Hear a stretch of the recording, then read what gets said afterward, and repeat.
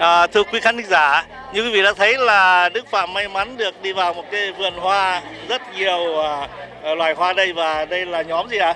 Dạ, nhóm Hoài Hương ạ. À. à, nhóm Hoài Hương. Vì hôm nay à, đến à, để à, văn nghệ với à, cộng đồng Charan County ở Đại hội Thường niên thì có thể cho khán giả được biết cái cảm tưởng và những cái sinh hoạt của nhóm. Dạ, Thanh Ngọc rất là hân hạnh được đến uh, góp vui trong chương trình văn nghệ ngày hôm nay của Đại hội Thường niên. Uh, Thanh Ngọc và nhóm uh, Hoài Hương sẽ cống hiến quý vị hai nhạc phẩm uh, Đêm đô thị uh, với Sài Gòn và một nhạc phẩm dân ca Bắc Bộ nữa. Quý vị sẽ được thưởng thức tí nữa đây. Vâng, như vậy quý vị sẵn sàng nhá để thưởng thức hai nhạc phẩm của nhóm Hoài Hương. Xin kính chào quý vị và cảm ơn nhóm Hoài Hương rất nhiều. Thưa quý vị, ở bên cạnh Đức Phạm là một khuôn mặt quen thuộc của cộng đồng Talent County. Đó là chị Lê Kim Oanh, Phó Chủ tịch Ngoại vụ. Thưa chị, trong những ngày à, cuối năm 2018 và chúng ta sắp đón năm 2019, chị có thể cho khán thính giả của đài được biết cái cảm tưởng của mình và những cái sinh hoạt của cộng đồng trong năm vừa qua. À, dạ thưa anh là hôm nay là anh cũng là trưởng ban điều hành của đại hội thường niên hôm nay và hôm nay thì chúng tôi mời Đồng Hương đến để có thể là báo cáo những sinh hoạt trong năm vừa qua cho của cộng đồng và có thể là giới thiệu vài một vài um, sinh hoạt cho năm tới và rất là vui là hôm nay rất là đông đủ uh, đồng hương đến tham dự ạ. À. À, thưa quý khán giả, bên cạnh chúng tôi là anh Lê Văn Hai, là cựu sĩ quan Thủ Đức. À, thưa anh, à, trong cái không khí mà chúng ta đã từ năm 2018 dự đại hội thường niên của Ban chấp hành cộng đồng người Việt quốc gia Trang Giao Ti, đồng thời chúng ta sắp sửa đón năm 2019. Anh có thể chia sẻ cho khán thính giả một vài cảm tưởng của mình. Thì hàng năm đại hội thường niên của cộng đồng hạt Tha Răng tổ chức thì chúng tôi cựu sinh viên sĩ quan trừ bị Thủ Đức đã đến đây tham dự và cùng với hội cộng đồng tổ chức lễ này để mà à, họp lại tất cả những bà con anh em để tổ chức cái cùng chung vui. Thì chúng ta nhìn về một cái quá khứ từ 30 tháng 4 1975 cho đến nay thì chúng ta nhìn thấy là nó 44 năm, gần 44 năm và cũng coi như gần một nửa thế kỷ. Thì người Việt tị nạn cộng sản tại nhiều quốc gia trên thế giới từ những cái tập thể nhỏ bé bỡ ngỡ trước những xã hội mới nay đã trở thành một cái cộng đồng người Việt quốc gia lớn mạnh và cũng đã đóng góp rất nhiều cho những xã hội đã cứu mang chúng ta trong những ngày đầu của cuộc hành trình tị nạn cộng sản. Trong cái tiến trình hội nhập này, chúng ta cũng rất là hãnh diện nói lên cái sự trưởng thành mau lẹ của giới trẻ.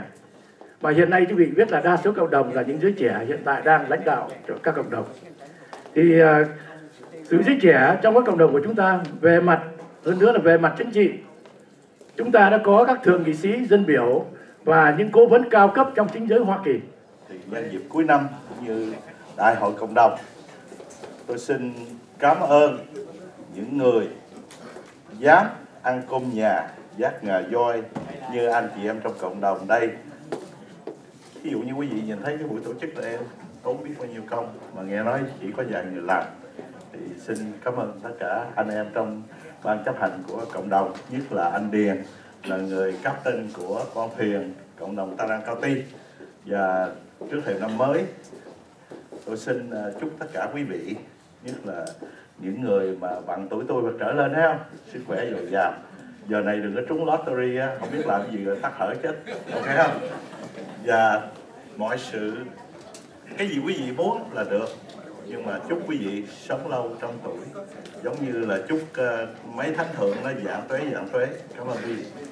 À, để mà tổ chức những cái chương trình như này nó không có đơn giản à, bởi vậy à, cái công lao cũng như là cái sự hy sinh à, của tất cả quý vị. Và cũng như là các thành viên ở trong gia đình của quý vị nữa. Tại vì khi mà quý vị làm việc ở đây ấy, thì lại con cái vợ chồng không có được gần gũi với nhau. Cái đó cũng là một cái hy sinh rất là lớn. Bởi vậy tôi rất là biết ơn và cảm ơn tất cả các các anh chị. Đấy, bởi vậy làm chủ tịch cộng đồng giống người Việt mình nói làm dâu trăm họ bởi vậy rất là cảm ơn à, anh Điền dám đứng ra để hy sinh gánh vác cái công việc này. Một là là một người à, tôi gọi là quả cảm hoặc là người yêu quá yêu cộng đồng quá mới hóa cuồng mới làm cái chuyện này Đây. bởi vậy năm mới chúc anh dồi dào sức khỏe chân cứng đá mềm để tiếp tục thêm 2 năm nữa nhé và hy vọng là tiếp tục thêm 3 4 nhiệm kỳ nữa. Thưa quý khán thính giả, à, bên cạnh chúng tôi là nhạc sĩ Phan Đình Minh, như quý vị đã biết là người chủ trương chương trình Cánh Đồng Mây. Và thưa ông, trong cái những ngày cuối năm như thế này và nhìn về năm 2019, ông có thể cho khán thính giả của đài được biết cảm tưởng của mình về những cái vận hội mới của dân tộc, của cộng đồng và của gia đình hay là từng người của chúng ta đang sinh sống tại ờ, nước ngoài hay là ở trong nước. Trước hết ờ, tôi là Phan Đình Minh xin được ờ, kính gửi lời chào chúc mừng năm mới đến toàn thể quý khán thính giả đang theo dõi buổi phỏng vấn của tôi với đài. À, nói về cộng đồng à, quốc gia ờ, chúng ta luôn luôn là người Việt Nam ở bất cứ ở nơi nào. À, và cái niềm hãnh diện của mỗi người Việt Nam là mình cho mọi người ngoại quốc cũng như con cháu mình biết mình là người dân tộc Việt Nam à, về vận hội mới chắc chắn mỗi một ngày chúng ta càng nhìn thấy ánh sáng nó càng rõ hơn và tất cả nếu anh cũng theo dõi chương trình của tôi tôi cũng chuyên chuyên phỏng vấn tất cả những người mà họ chống lại đảng cộng sản trong nước cho đó về tương lai đất nước năm 2019 chắc chắn nó còn nhiều cũng có khó khó khăn đấy nhưng mà càng ngày mình càng nhìn thấy cái ánh sáng của nước Việt Nam phú cường tự do dân chủ nó càng đến gần thưa anh Vâng, xin cảm ơn nhạc sĩ Phan Đình Minh rất nhiều. Dạ, xin cảm ơn anh nhiều. Dạ, xin chào quý khán giả.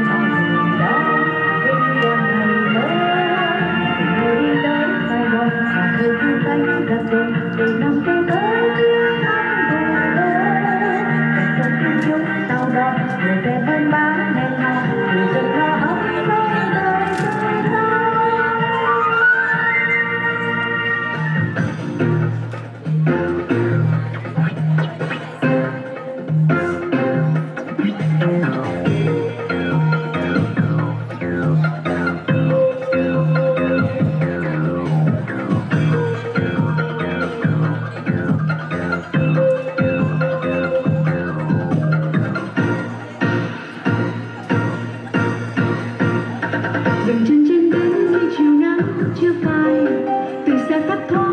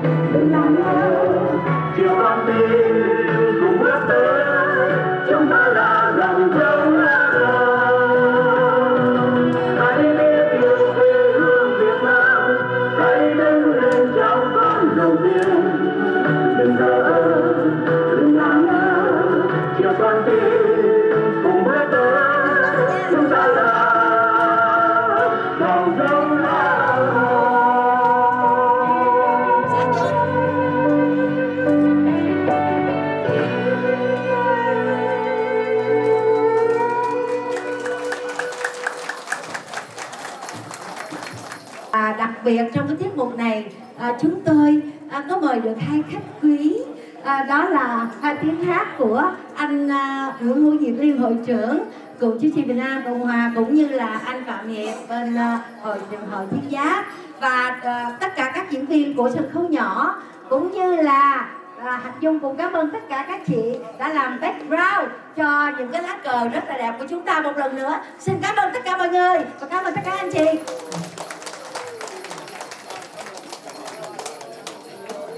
Thưa quý vị, trong không khí lành lạnh của những ngày cuối năm và trong khán phòng đông đảo đồng hương đến tham dự ngày đại hội thường niên của cộng đồng người Việt quốc gia hạt Charon, chúng ta thấy tương lai vận hội mới sẽ đến với dân tộc, đến với cộng đồng và từng gia đình của chúng ta.